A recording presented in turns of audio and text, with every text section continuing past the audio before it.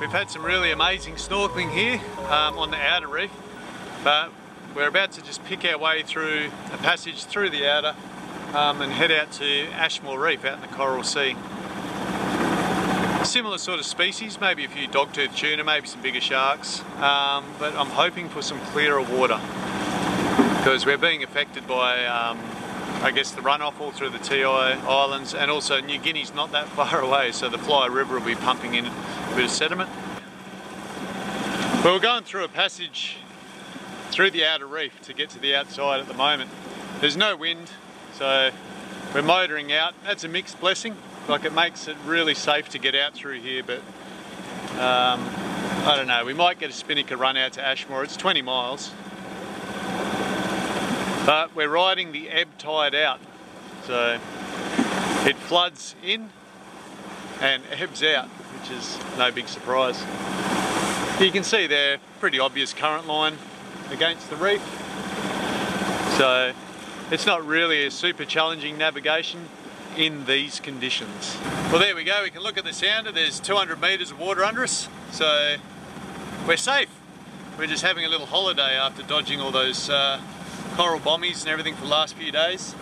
A lot of people think ocean travel is um, you know dangerous or whatever. Nothing could be further from the truth. It's a, it's a lot safer in some respects than coastal travel. I guess the only thing is if we do get into trouble that we can't handle ourselves, um, help is a, is a long way coming. But we're in Australian waters. Know, it will come. If we pop that EPIRB, they'd come, but that is totally a last resort. But anyway, we're just going to enjoy not having to worry about anything for a little while, I think. Blue water.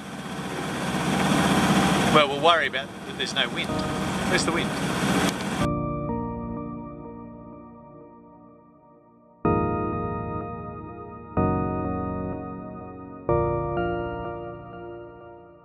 We Put the anchor down at Ashmore Reef yesterday afternoon. We got just in just in time to find a safe spot to anchor.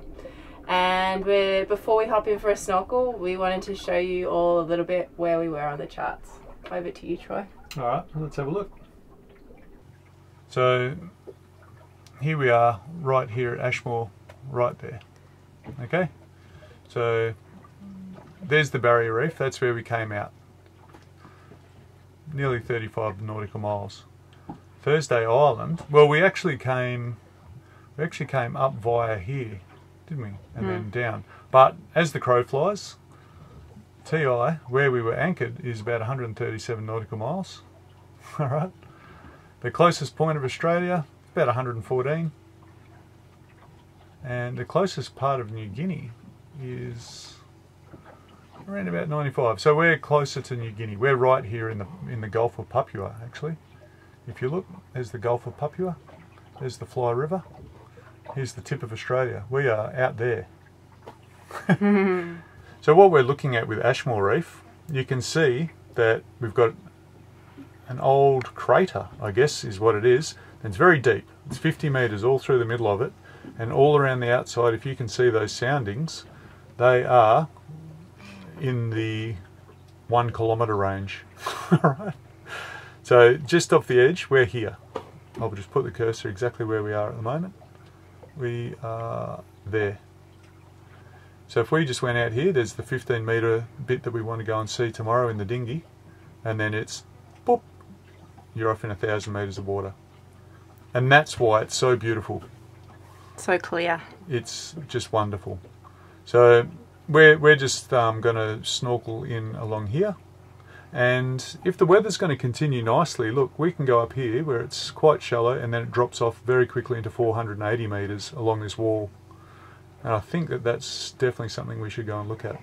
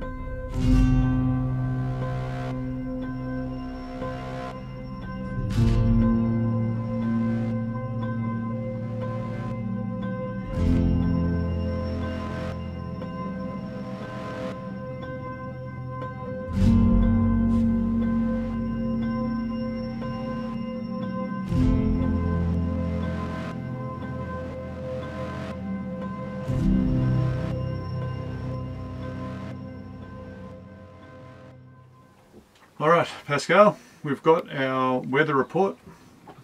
So this is for tomorrow. We've got the high pressure system down here.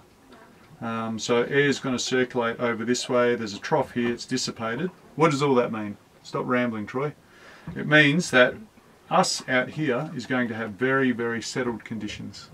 Yeah, it looks like we're going to have two great days of uh, snorkeling. We can explore in the dinghy. It'll be really, really safe. We can go and try and find some reef sharks to swim with. Um, have we got that stuff to go for a fish feed, Pasky? Yeah, it's in the fridge. We've got the fish scraps and squid scraps. So Yep. we're going to go feed the locals um, and hopefully get some really great footage for you guys. What do we got? We got some minced up mackerel Ooh, yep, and some squiddly bits. some squid bits. Yep. All right, so yep, from processing the fish, we've saved a little bit. If you are ever going to be feeding fish, um, it doesn't want to be a consistent effort in one place because the fish get used to it and they can get aggressive and, and used to you. But this is just plain uncooked fish. So if you are going to feed fish anything, that's what it should be because that's what they'd normally have. I've seen fish being fed bread. Um, that can be a problem, all right, because the yeasts and things like that in bread can actually cause fungal infections in the mouth and gills of fish. So if you're going to feed them anything, feed them what they're used to. All right, don't cook it. Nice and raw, just the scraps from your cleaning.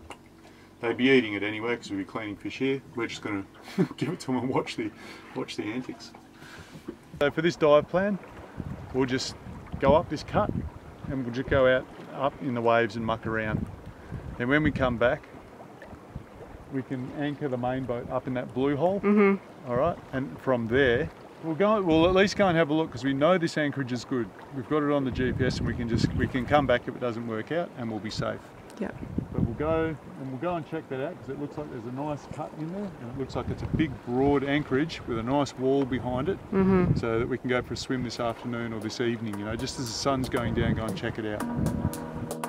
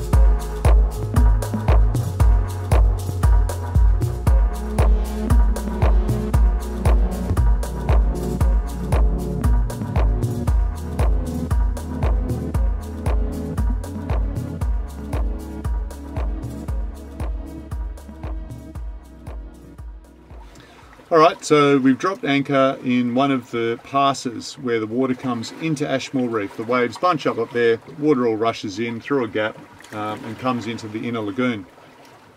That's going to be fishy. All right, there's a lot of current at the moment. We can't jump in. If we do right now, we'll be swept off away from the boat. Probably have a pretty pretty rough time of it actually. But uh, in another two hours, it'll be slack tide and we'll jump in. And you watch, there'll be just a ton of fish down there. Probably a shark or two. Um, I know if I was a shark, I'd sort of hang around and take advantage of it. But um, that's that's really what you're looking for. If you want the best diving and fishing, you want a bit of run. Okay, you want you want a bit of current because that is what fish like. Let's go see.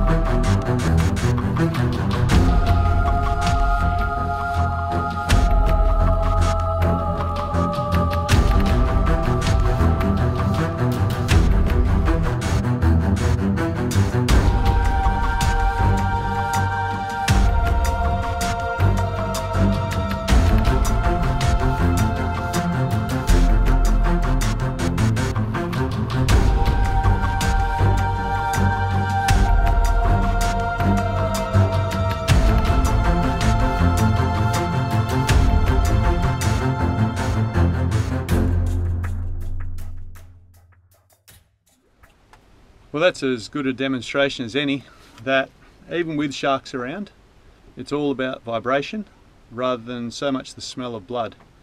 So that wasn't a perfect shot was it?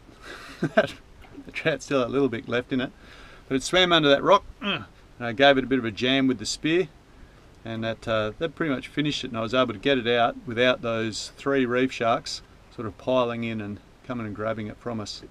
So that's an important thing to remember with sharks in the water. It's all about the vibration. Blood, blood can be a little problem, like they'll, they'll home in on it, but um, you really need that good shot and you don't want the fish struggling or you're going to end up with a fight on your hands.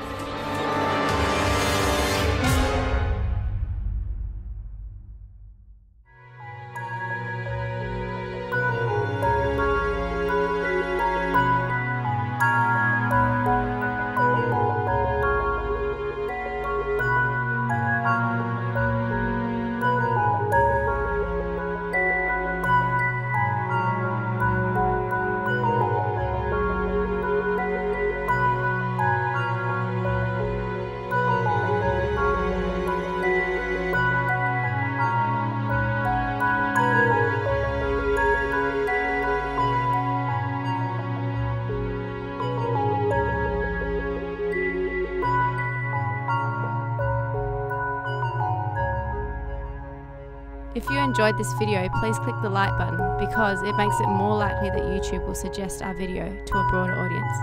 Also, we'd love to hear your feedback, so head over to the comments and drop us a line.